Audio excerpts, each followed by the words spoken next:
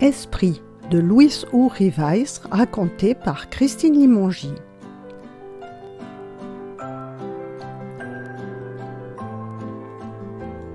Le chiot Loupi est allé se promener dans la rue un peu plus tard qu'il ne le faisait d'habitude.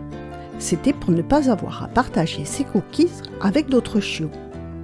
Alors qu'il commençait à faire sombre, Loupi s'est perdu dans un autre quartier.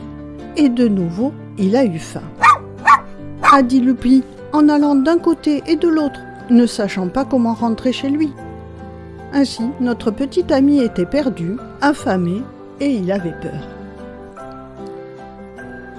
Oh, et maintenant Qui va pouvoir m'aider? se demanda Loupi. Le chiot s'est décidé à passer par une autre rue en essayant de trouver le chemin du retour vers sa maison, quand soudain, il a entendu un son. Mais quel est ce bruit? S'est demandé Loupi. Je pense qu'elle vient d'ici. Il a vu une lumière qui venait de derrière un buisson et il s'est approché. Qui a oublié cet appareil? s'est interrogé le chiot. Et comme toujours, Loupi curieux est allé voir de plus près. Le téléphone portable a recommencé à sonner, laissant apparaître une image à l'écran. Dois-je répondre? s'est demandé Loupi. Hé, l'ami, décroche pria un sympathique génie avec un visage d'émoticône sur l'écran du portable. Mais comment pouvez-vous me parler a questionné Loupi. Et que faites-vous dans un téléphone portable? Je m'appelle Génus et je peux t'aider, a dit le génie. Si tu appuies sur le bouton vert, tu me libéreras. Alors le chiot, toujours curieux, a mis sa patte où lui avait indiqué le génie.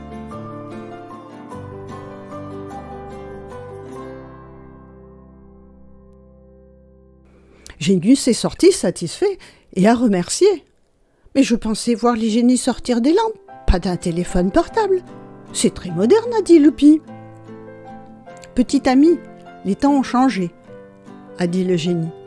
Mais comme je sais que tu es pertenu, j'ai ramené trois cadeaux de la part des bons esprits pour t'aider.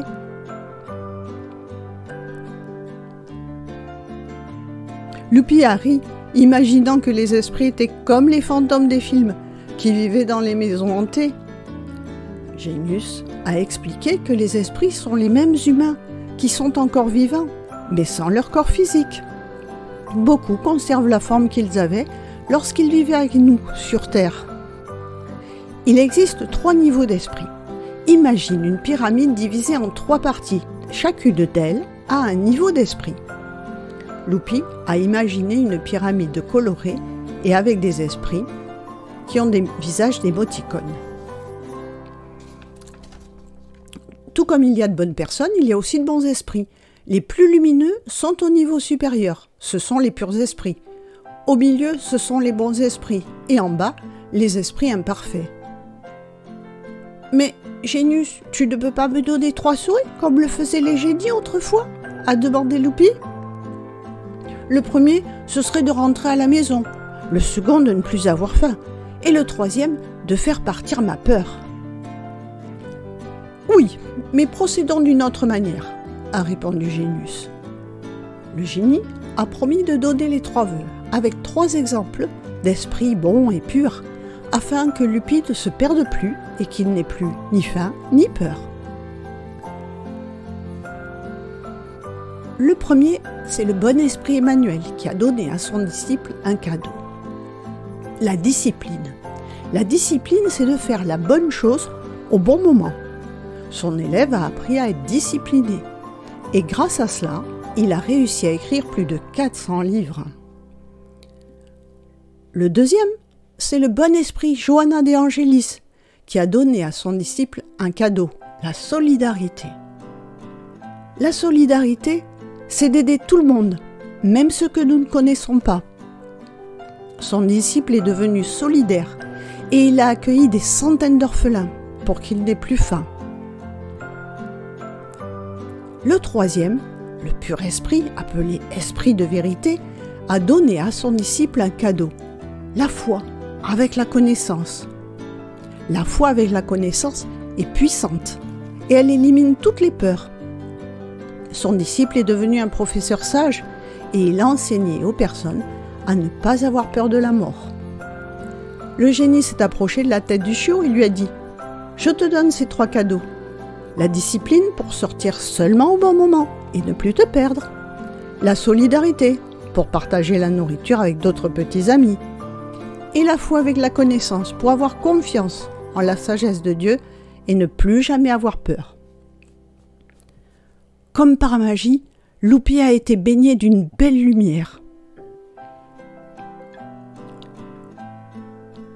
Junis a disparu alors qu'une voiture s'approchait. Par la fenêtre, un petit garçon a dit joyeusement Papa, nous avons trouvé mon téléphone portable qui était perdu. L'enfant a reconnu Lupi, le chiot de la voisine, et l'a ramené chez elle. Pour le remercier d'avoir trouvé son téléphone portable, l'enfant a donné à Lupi une boîte pleine de biscuits. Lupi est rentré chez lui, heureux d'avoir reçu les trois cadeaux du génie moderne. Maintenant, il n'a plus faim ni peur, et il a appris une belle leçon. Avec la discipline, il ne sortira plus qu'à la bonne heure. Avec la solidarité, il partagera sa boîte de biscuits avec les autres chiots. Et avec la foi, avec la connaissance, il n'aura plus peur.